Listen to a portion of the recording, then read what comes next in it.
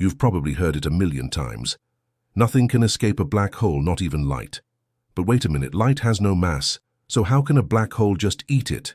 Well, it's not like a cosmic monster with a giant mouth. It's all about gravity.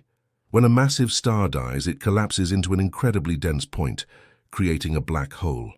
This creates a gravitational field so powerful that it warps the very fabric of space-time around it. Think of space as a stretched-out sheet. A black hole is like a bowling ball placed in the middle, creating a deep well. Now imagine light as a marble rolling past. It always tries to travel in a straight line, but as it gets near the black hole, the curved space forces its path to bend. If it gets too close and crosses a boundary called the event horizon, the curve becomes so steep that the light's path spirals inward, with no way out. It's not eaten. It's trapped in a one-way trip.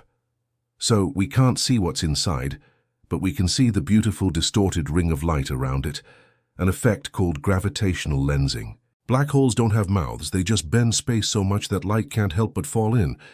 Want to know what would happen if Earth got too close to one? Follow for the next video. Thanks for watching.